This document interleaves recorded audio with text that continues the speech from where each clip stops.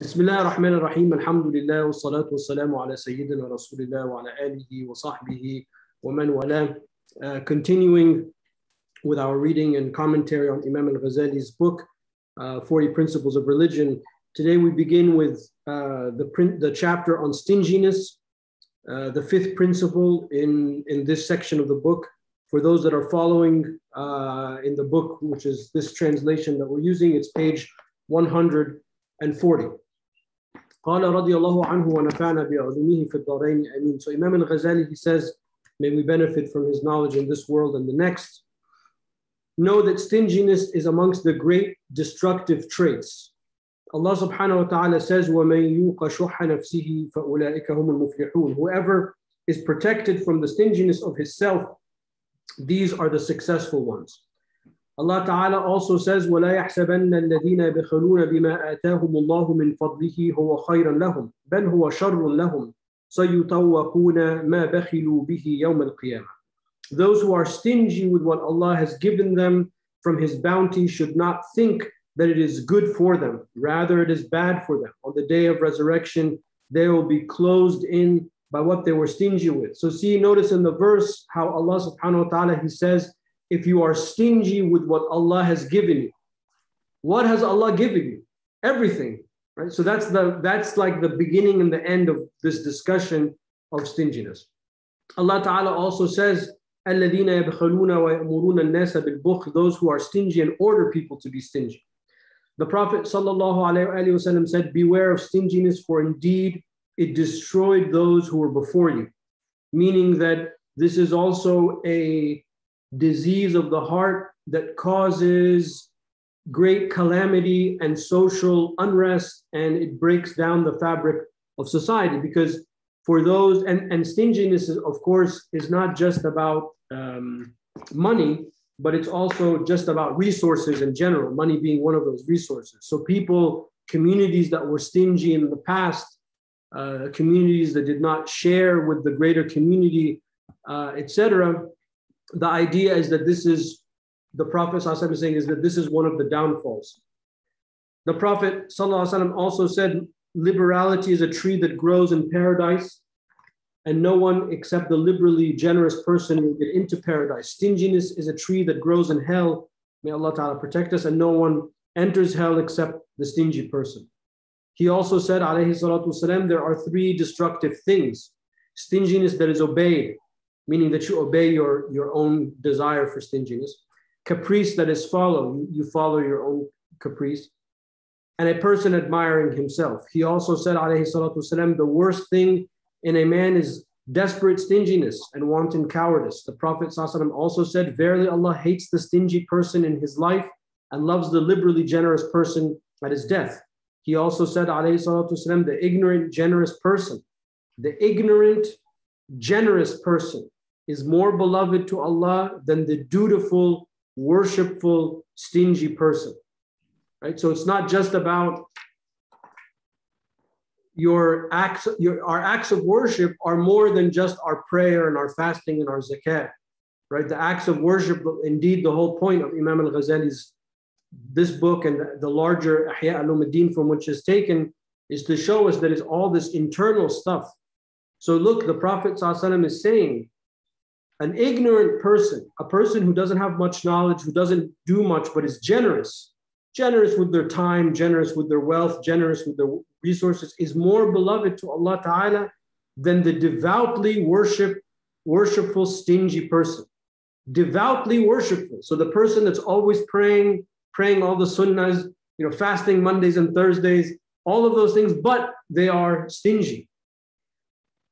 So, and then the last hadith of the introduction, the Prophet ﷺ also said stinginess and bad character are not combined in a believer. So, that last hadith is very important because good character, this is what the Prophet ﷺ was sent for.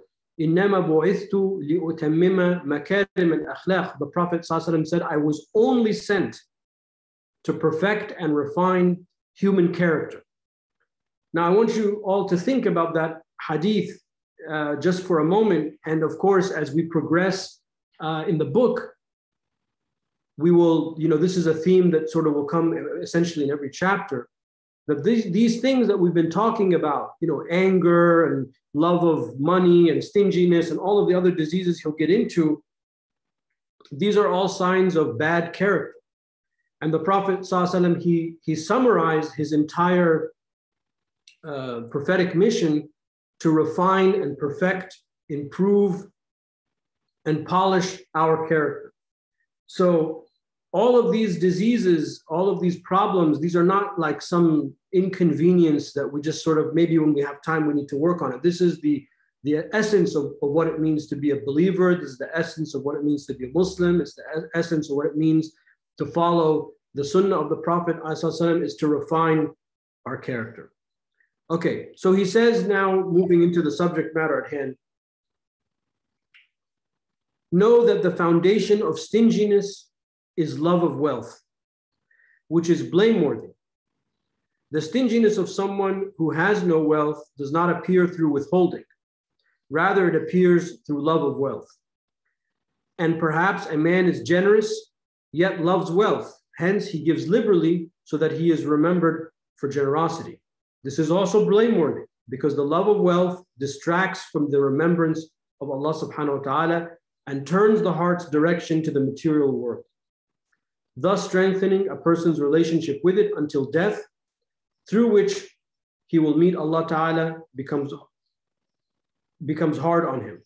Allah subhanahu wa ta'ala says, Ya ayyuhalladhina amanu la tulhikum amwalukum wa la awladukum am dhikrillah. O you who believe, do not let your wealth or your children distract, distract you from Allah's memory. So here Imam al-Ghazali, he's telling us right, you know, right from the get-go, what's the root cause of stinginess is that you love wealth but it's also not simply stinginess of holding on to the wealth because there are also people that give generously in order that so their, their whole reason reason behind giving is that so people will remember them for giving which is also another form of love of wealth because wealth then becomes front and centered my my mo is wealth either i give or i hold my self-worth my um, the, the, the, the, reason behind all of my activities, the reason, you know, the, the way I think about everything is through this lens of wealth.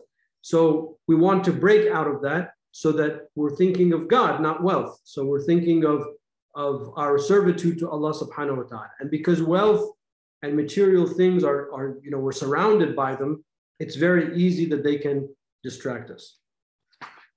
Allah Ta'ala also says, إِنَّمَا أَمْوَالُكُمْ وَأَوْلَادُكُمْ fitna. Indeed, your wealth and your children are only a trial. He also says, أَلْهَاكُمُ التَّكَاثُرُ The mutual seeking of gain has distracted you. Right? أَلْهَاكُمُ التَّكَاثُرُ حَتَّى زُرْتُمُ الْمَقَابِرِ You're going to keep uh, gaining things and be concerned with things all the way until you put your feet into the grave. It's, it's, it's from the beginning of your life to the end of your life, which is part of the human condition. So we can't live in the world without things. We can't live in the world without sustenance. So it's not about that the sustenance is bad, it's our concern for it and our um, eagerness to amass and our concern for it to the point that that becomes the definition through which and by which we define everything else. The Prophet ﷺ said, Do not take a villa and thus love the world meaning that it would distract you. It was said to the Prophet, ﷺ, which part of your community is the worst? He replied, the rich. He also said, whoever takes from the world over and above what suffices him has taken his death while he does not know. So, wealth in and of itself is not the problem.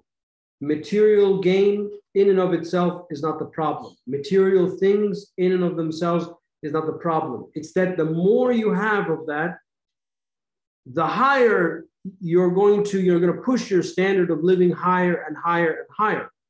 And if you push it too high, then you start to assume that what you have, you know, you start to judge this is essential. You know, but what's essential for an extremely wealthy person is not essential for somebody who's, you know, trying to get themselves out of poverty, for example. So Imam al-Ghazali, he's going to make the case and he's going to be very shocking in this chapter. He's going to tell us, let me tell you what essential means. A measure, you know, a, a ruler by which you can judge if you are living essential. A lot of this stuff is going to be hard, and it's meant to be hard. It's not meant to be necessarily easy, but it gets us thinking about can we consume less? Do we need all the things that we need?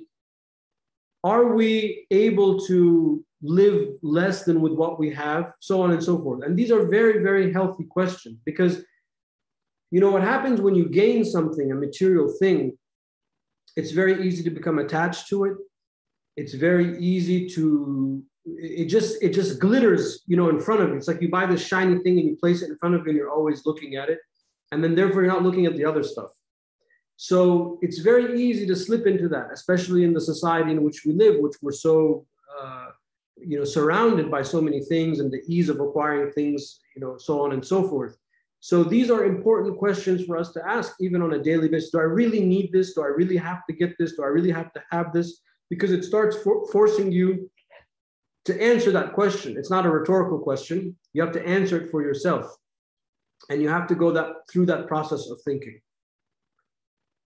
A man said, O Messenger of Allah, I certainly do not like death. The Prophet ﷺ said, Do you have any wealth? He said, Yes.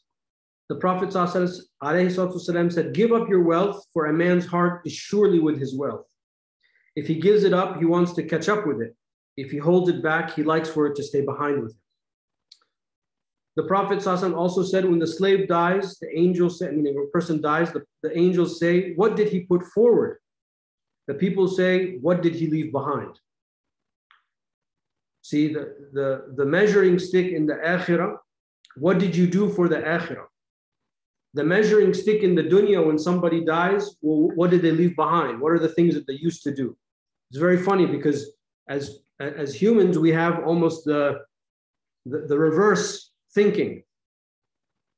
We want to be thinking forward thinking. Okay, I'm going to do this now, but how is this going to impact my akhirah? That also sobers you up, that type of question. The Prophet also said, The slave of the dinar has perished. The slave of the dirham has perished. The dinar is the gold coin and the dirham is the silver coin. And that was the currency at the time of the message of the Prophet. The slave of the embroidered garment has perished and suffered repeatedly. And if he is pricked by a thorn, it is not removed. Okay, so the slave of those things, not that those things are bad. You need the dinar and the dirham and the embroidered clothes to live a decent life. It's not that those things are bad, it's our attachment to those things. That's the key. So I don't want people to take away from this chapter that having things is bad. And, I, and I'm going to strip down and just wear the same thing every day. Not like I have 50 of the, this sweatshirt. No, I'm going to wear just this sweatshirt. You know, then you're going to start to stink and, and we're not going to let you in the mosque. So we're not talking about um, you know, there will be lessening of things. I, I don't. I also don't want people to think that that's not going to happen. If you take this seriously, you will end up, inshallah, consuming less, having less. But I don't want people to think that it's the acquisition of things themselves that's the problem. It's our attitude and our attachment to it. So he'll he'll he'll go he'll walk us through that. Okay, the reality of wealth in respect to blame and praise. Know that wealth is not blameworthy from every aspect. Allah's Messenger وسلم, said, How excellent is the useful wealth of a righteous man. He also said, والسلام, the world is a field for cultivating in the afterlife. How could it be absolutely blameworthy when the slave is a traveler to Allah subhanahu wa ta'ala? The world is one stop along his journey, and his body is a vehicle without which it is impossible for him to travel. It cannot survive without food and clothing, and there is no way to them except through wealth. And that's what's key. There's a difference between the dunya and al hayah. Al hayah is life. We have to live in this life, and life requires things. It requires food and drink and rest and clothes and travel and family and relationships. And that's good because, as the Prophet ﷺ said, that those are the places where you're going to plant your seeds and they're going to harvest them yom al qiyamah.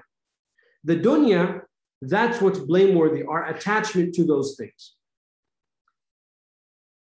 So let me just read that sentence again. It cannot survive, life cannot survive, and our journey to Allah cannot survive without food and clothing. And there is no way to them except through wealth.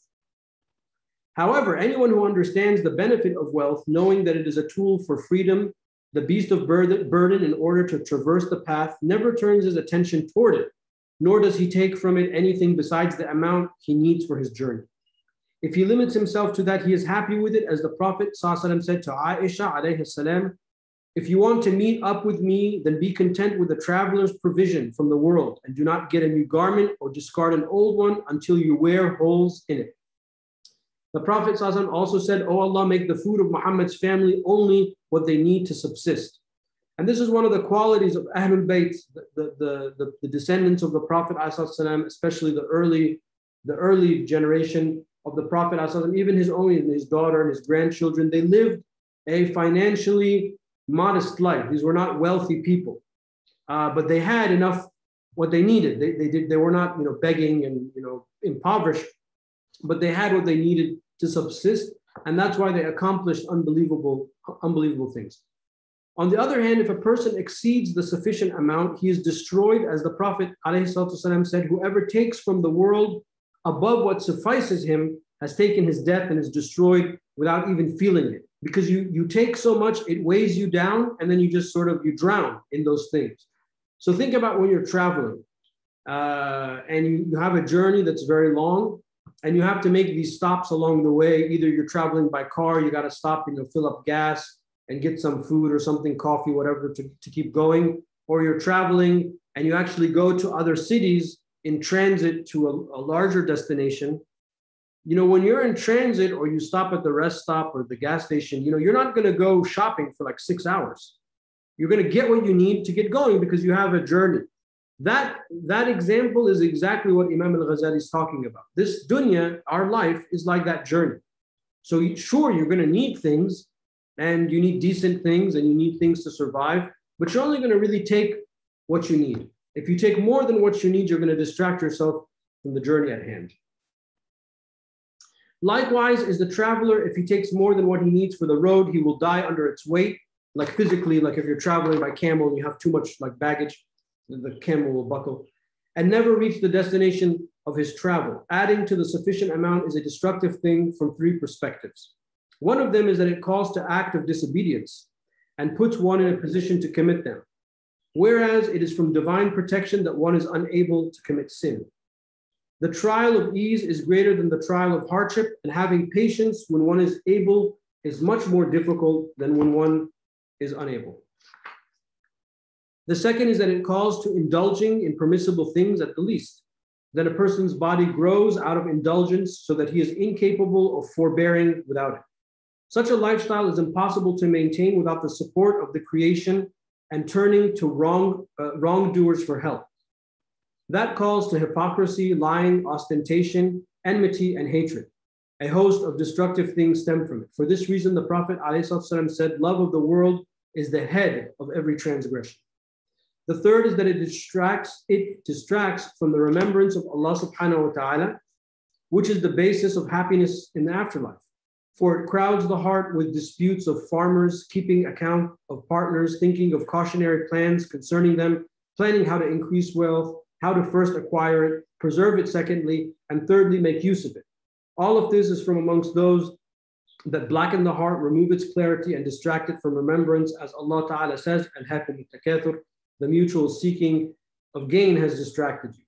So if you're around people that are very wealthy, uh, usually what you will find is that all their talk is about wealth. It's about investing and it's about you know this uh, IPO and this new idea and how to start a business and how to succeed and you know what my you know routine is in the morning so I can focus more and when I invest my money it's all related around the money and I'm not saying I lost the I'm too excited I lost the page just one second so um, I'm not saying that again uh, the, uh, the amassing of wealth and the making of money, as he says in the beginning, can be a wonderful thing for a righteous person. It's about the person.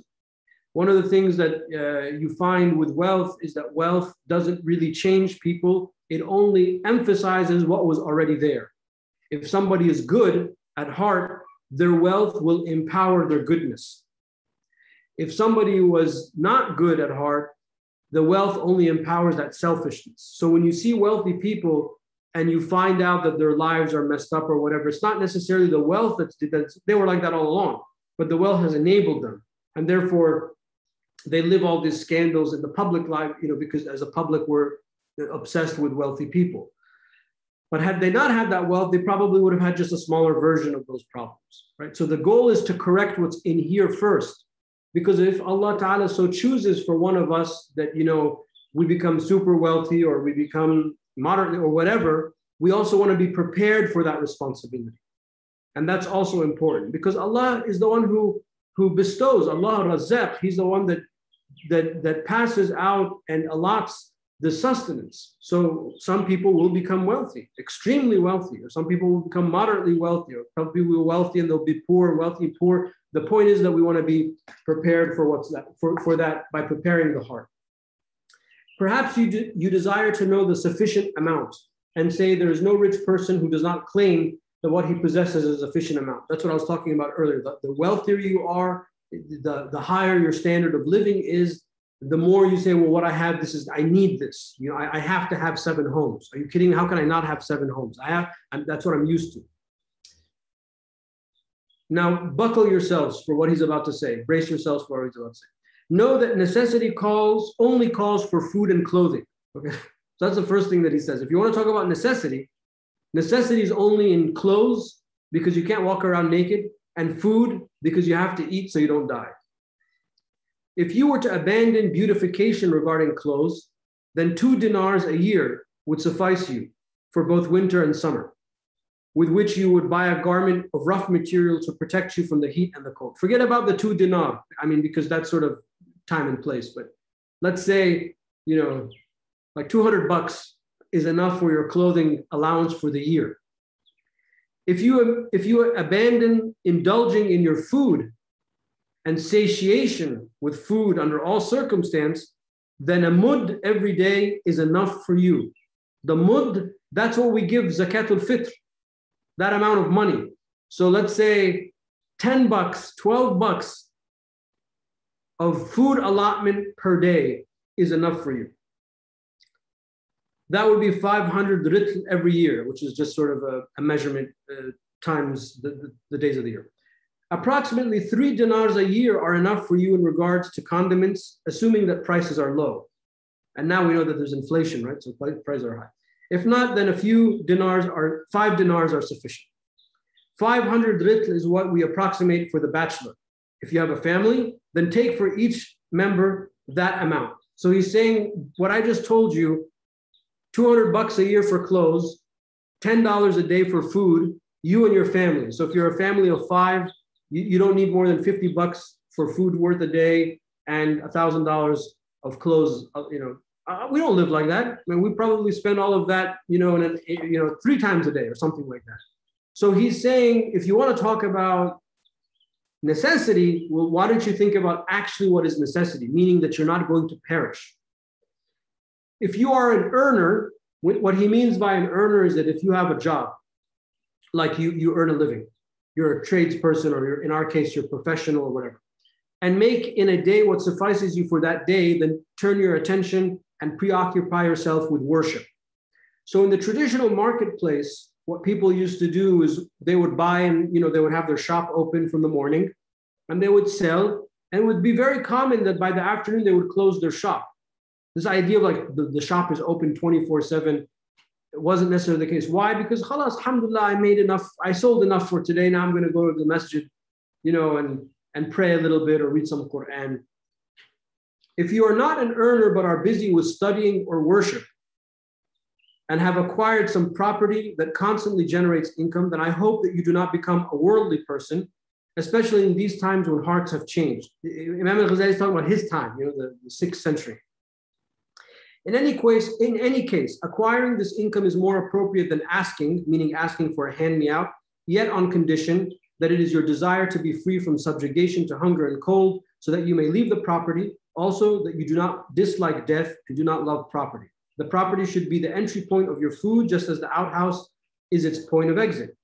You must only want it out of necessity and desire to be free of it so as to get out of the prohibition in the Prophet's statement, do not take a villa and thus love the world. Indeed, if you intend to rid yourself of it, in order to support religion, then you are a well prepared traveler, not someone overly concerned with property. Okay, now this is you know very startling. I mean, this is very extreme, of course, and that's why I said in the beginning, you can substitute what Imam al-Ghazali is saying about like having one garment, you know, in your life and a year and that kind of thing, by simply asking yourself this question: Do I need to get this? Do I have to have this right now? And that's a good question to ask yourself before you go out for a meal, before you buy something for yourself. This question is not meant to make you miserable. He's, he's not saying to do this and to be miserable. But all of this is under the chapter heading of stinginess because we do not want to become stingy. So just hang on until the end of the chapter, which is very close. Perhaps some people would not have the ability to be satisfied with the amount we have mentioned, you know, i.e., all of us except with extreme difficulty and hardship. There is no harm, religiously speaking, in doubling the amount, for it would not turn one to a, into a child of the world, nor remove one from the part, party of the children of the afterlife traveling to Allah subhanahu wa ta'ala, so long as one intends thereby to repel the pain of hunger that could distract one from remembrance and worship without indulging in the world.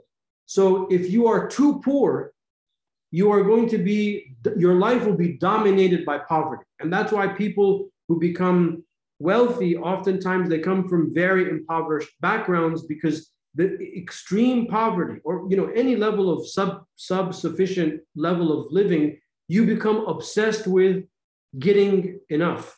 And what does that do? It distracts you from worshiping allah subhanahu wa ta'ala. So there are two extremes. There's the extreme of not having enough at all and having too much so when it when you when it's about lessening, the measuring stick is what do I, what can I reduce? Sorry, when it's about lessening, what can I reduce such that that reduction doesn't distract me from worship? So if you're always wearing, you know, a jeans and a ripped t-shirt in our society, you're going to be eventually you're going to be very self-conscious. If you're so self-conscious of what you're wearing, and it's not appropriate enough, then you have gone too low because you're not worried, focusing on Allah subhanahu wa ta'ala. So you have to have enough that you are fo- you are comfortable and able to focus. If you have too much, like if you like, you know, I have a couple of nice things, and every time I wear them, I'm so concerned that it gets stained, that it gets ripped. That's wrong, right? Because then I'm just sort of just, I'm so stupid. I'm distracted by what I'm wearing. So I ask myself, why did I wear it or buy it in the first place? You know, if I'm just so I'm so worried about it, then I become distracted with the thing, or if it's too low, I'm distracted with not having the thing. So there's got to be a middle way, and that middle way we arrive by asking ourselves those questions. And each one of us will have our middle way. Indulgence is a turning away from Allah Ta'ala and a preoccupation with this world, indulgence in material things. As for charity, abandoning wealth is better than it. As Isa alayhi salam, Christ said alayhi salam, O seeker of the world, O seeker of the world for virtue's sake, for you to leave it is twice as virtuous. So somebody might say, no, I want to get money so I can give. So Imam al-Ghazali is saying, actually, it's better just have less and be content. If Allah so chooses to give you, then you can give. As for preparation due to fear of a calamity, there is nothing that can repel it when it is a bad opinion that has no end. Rather, one should repel it with a good opinion of Allah Ta'ala's plan. That means picturing that a calamity will befall one's wealth from where it is not expected, and at the same time picturing that a new door of provision will open from where one does not expect it.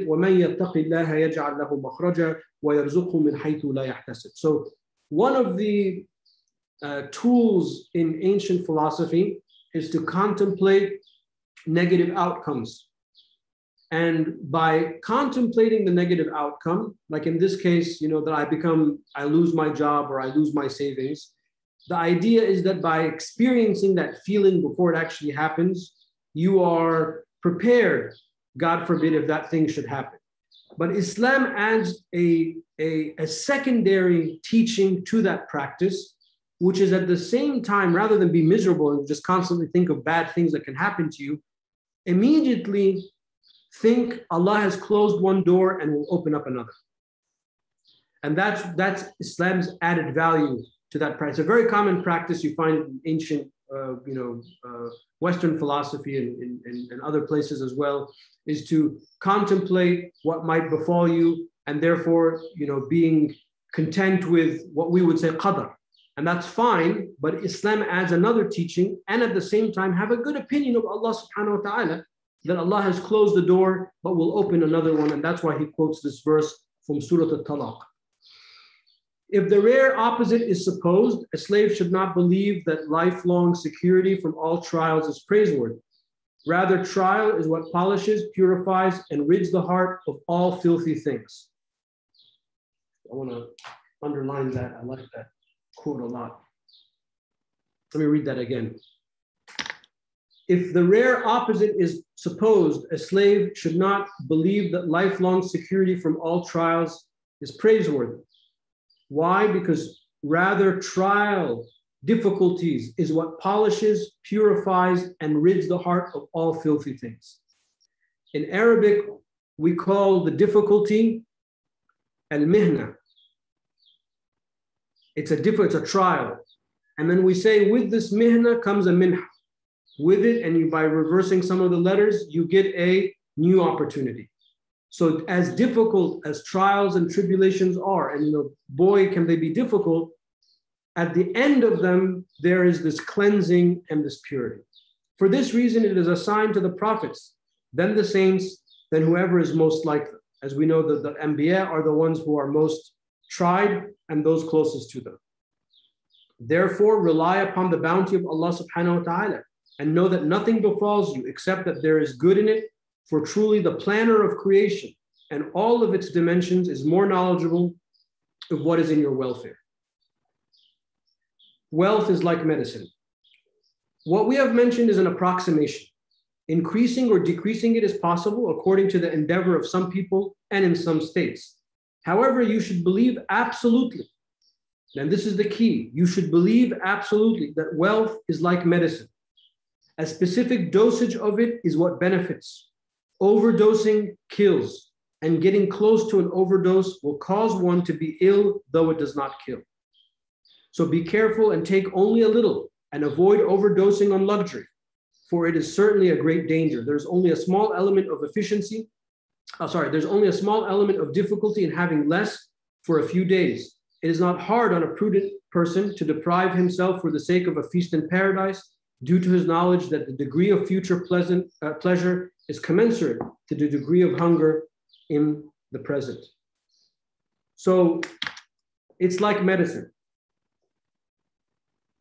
And one place to start, in addition to the you know questioning yourself, is to be content with what you have now. And to practice that and to say Alhamdulillah when you when you get something to eat, when you get something to drink, you bought a new article of clothing, even if it's, you know, underwear or socks or whatever, but to say, Alhamdulillah, Alhamdulillah that I have this. You know, there are people that can't even afford to have socks or shoes or whatever. Alhamdulillah.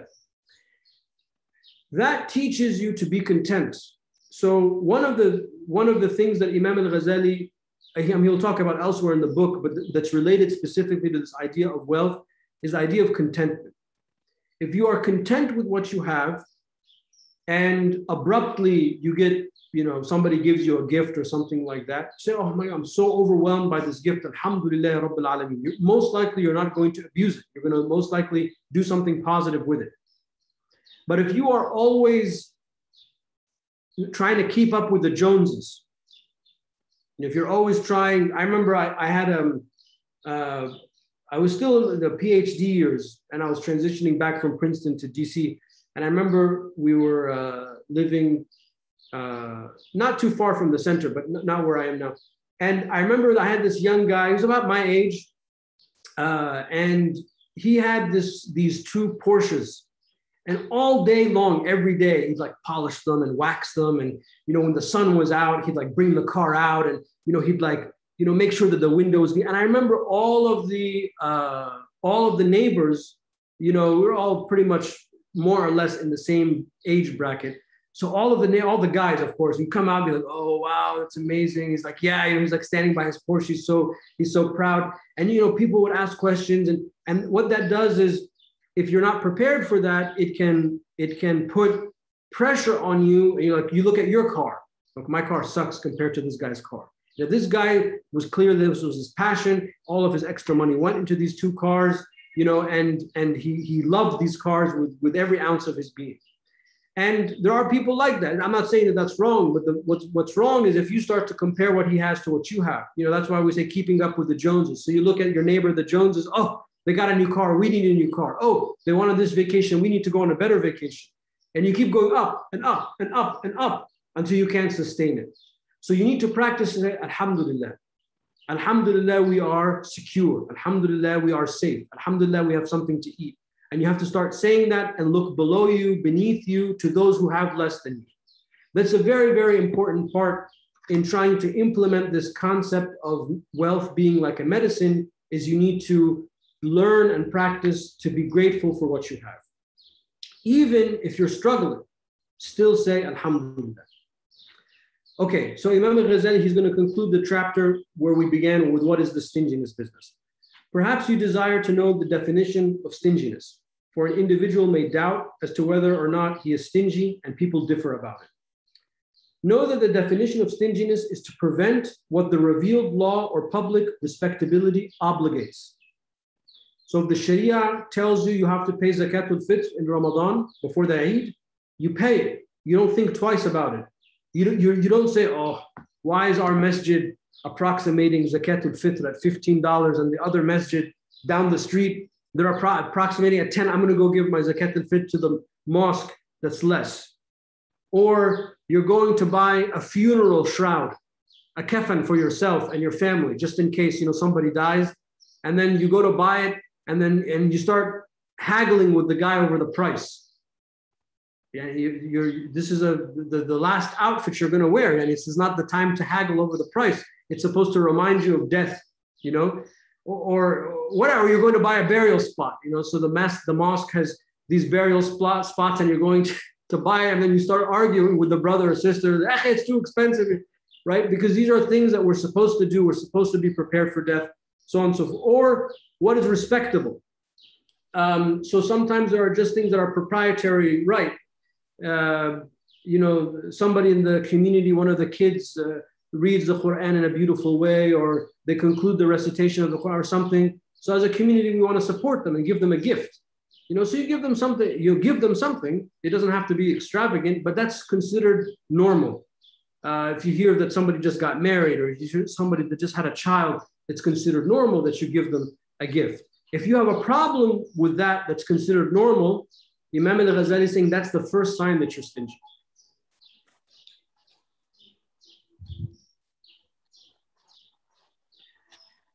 uh, do not think that someone who submits to his wife or his relative with the judge, sorry, or his relative what the judge has dictated but is uptight about giving a morsel beyond this is not stingy. Do not think either that someone who returns a piece of bread or meat to the baker or butcher because of a slight deficiency is not stingy. Even if he has a right to do so legally speaking, for the meaning of the revealed law in regards to these matters is to end the dispute of stingy people over an amount that the stingy person can bear. This is why Allah Ta'ala says, إِن يَسْأَلْكُمُوهَا فَيُحْفِكُمْ تَبْخَلُونَ If he were to ask you for it and press you, you would be stingy. So even though some things might be technically correct, they still can be a sign of stinginess. Indeed, it is necessary to comply with respectability and refute those who would speak ill and that differs according to the differences of people and the amount of wealth. If someone has wealth and is able to prevent his disparagement and censure by a poet with a small amount, yet he does not do it, then he is stingy, even if it was not obligatory upon him. The Prophet ﷺ said, whatever a person protect, whenever, whatever a person protects his honors with is charity. So you have the ability to, to prevent somebody slandering you, and that requires you to pay for something or do something and then you don't do it, like I don't care about my reputation. That's a sign that you're stingy because you know, who wouldn't who, who would openly allow their reputation to be harmed? To verify Wealth was created for a benefit and is possessed for that sake. There is also a benefit in spending it. Whenever the benefit of spending appears to be greater than the benefit of holding, yet it is difficult for a person to spend, then he is a stingy person who loves wealth. Wealth should not be loved for itself, but rather for its benefit. Therefore, it should be dir- directed to the strongest of its benefits. Preservation of public respectability is better and stronger than indulging in much eating, for example. Stinginess and love of wealth could lead to a person becoming ignorant of the strongest and most appropriate of two benefits. This is the utmost stinginess. If he knows yet spending is still difficult on him, then he is also stingy. And if he spends, even if he spends effectively. Rather, a person frees himself from stinginess only when spending wealth on what it should be spent on rationally and legally does not weigh heavily on him. As for the level of liberal generosity, only spending in excess of both legal obligation and public respectability attains it. Okay, and then lastly, what is the treatment for stinginess? Perhaps you would like to understand the treatment of stinginess. Know that it is re- its remedy is a mixture composed of knowledge and practice, as he said with all problems, knowledge and practice. As for knowledge, it is that you know the destruction in store for the stingy person in the afterlife and the censure connected to him in the world. It is also for you to know that wealth, assuming that it remains, does not follow you to your grave. Wealth is only for Allah Ta'ala. He enables one to possess it in order to use it for the important matters. It is also for you to know that being spoken well of and receiving a reward in the afterlife is more delightful than withholding wealth for the sake of indulging in desires. Merely fulfilling desires is the nat- nature of dumb beasts, while the former is the nature of rational people.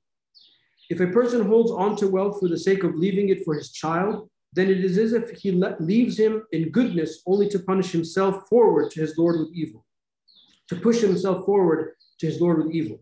This is the essence of ignorance. How is this so? If his child is righteous, then Allah Ta'ala is enough for him. If he is a sinner, then he relies upon wealth to commit acts of disobedience, and the parent is the cause of the child's empowerment to do them.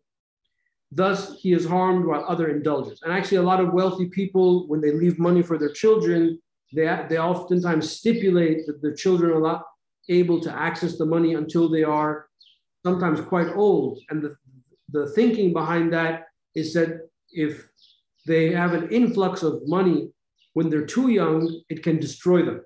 And this is a, you know, this is a common problem and, and, and has le- led to common problems in the past. As for practice, it is that a person forces himself to spend and does not cease to do so until it becomes a habit for him. Among a person's loopholes regarding that, this is that he should be duped by expectation of a good name and anticipation of a recompense until he desires to spend.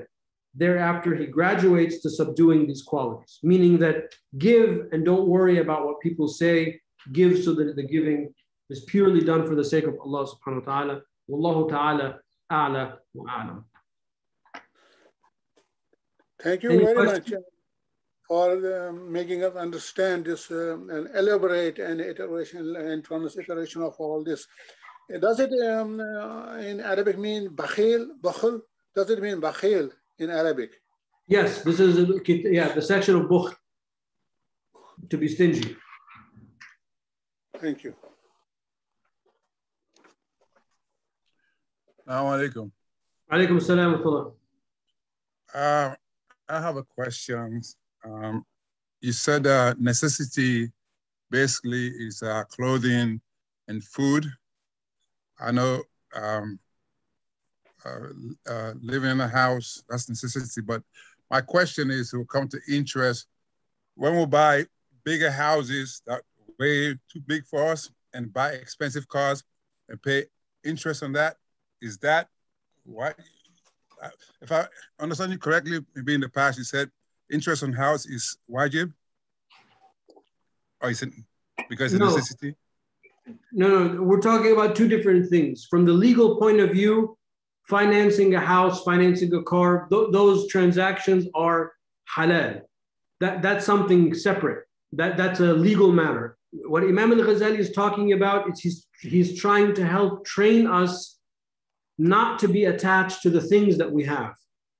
So, in order to do that, he's making this you know shocking statement and and say if you think that what you have is necessity, let me tell you what is actual necessity by definition of the word is that you eat and you have clothes. Other than that, nothing is really necessary. Now, of course, he's not saying go live like that, but he's he's using this as a teaching device to get you to start to think about what you have.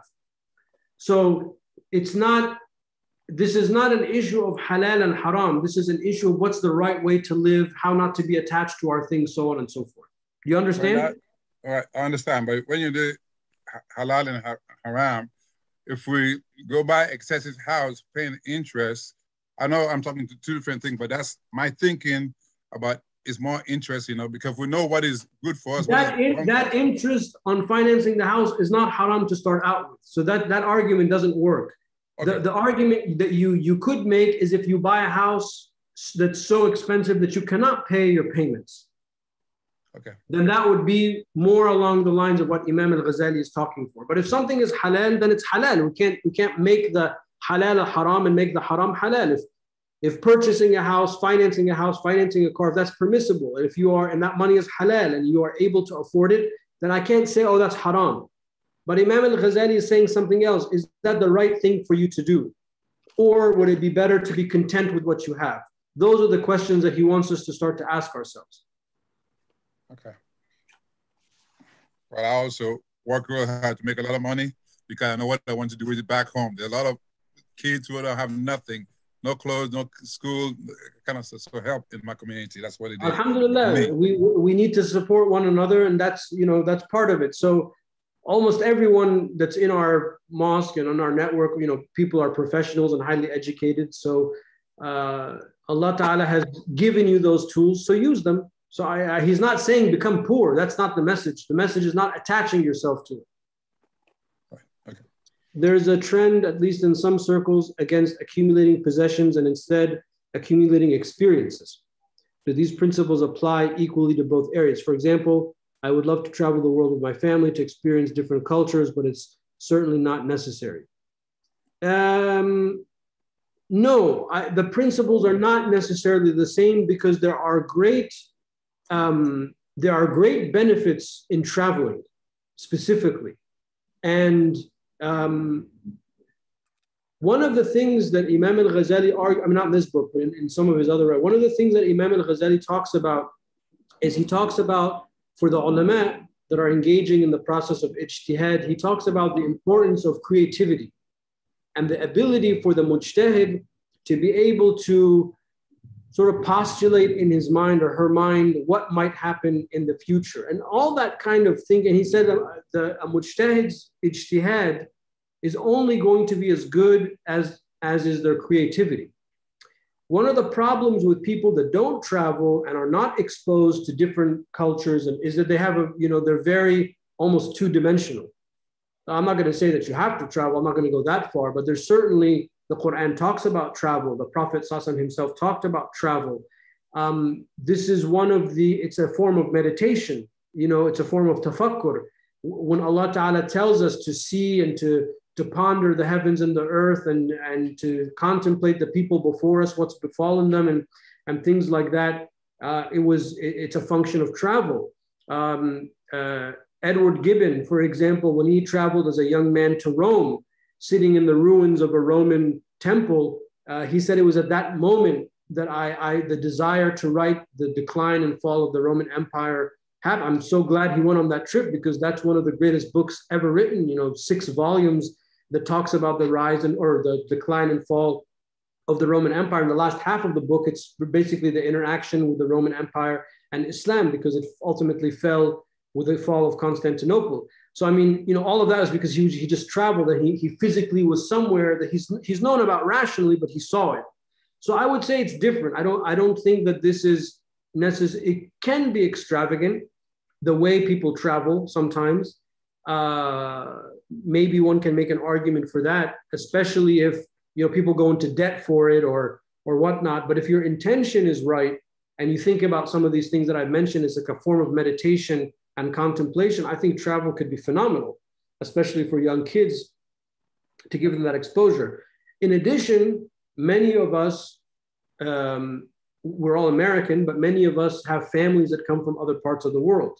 and also keeping family ties and letting them experience the culture of, their parents or their grandparents or their great grandparents is also important.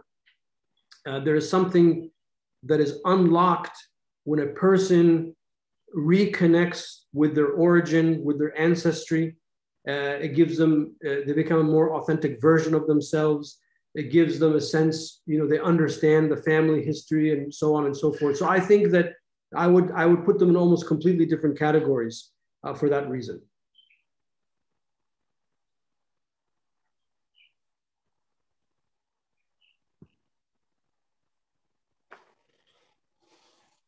Anybody else have any questions?